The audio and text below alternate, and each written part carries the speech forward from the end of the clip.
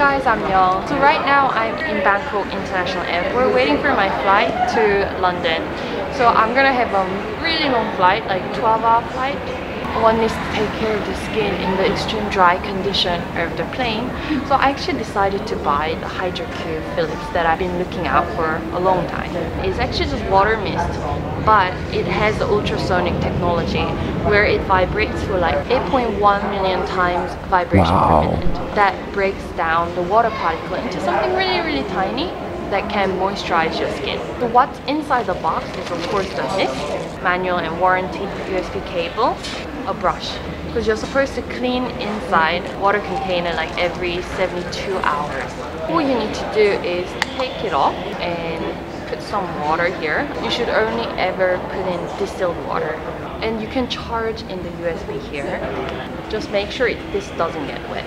Once you just lift it up gently, So I've actually already used it during my short haul flight from Hong Kong to Bangkok. It actually has really fine mist, which is very different from like other mineral water spray that you get from like a drugstore.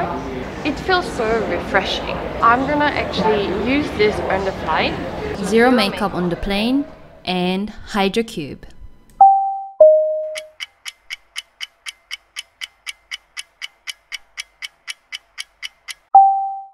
Welcome to London. So now I have finally landed at the land of green pasture. Look around you, isn't it so pretty right now?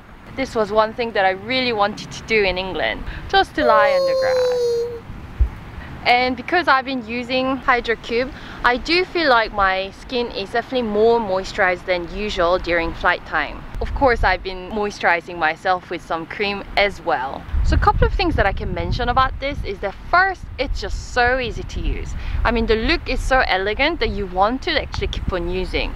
It makes you look pretty high-tech. So I've been actually popping it in my purse and then use it whenever I feel like freshening up particle is so soft and so little, it doesn't actually affect your makeup or anything like that.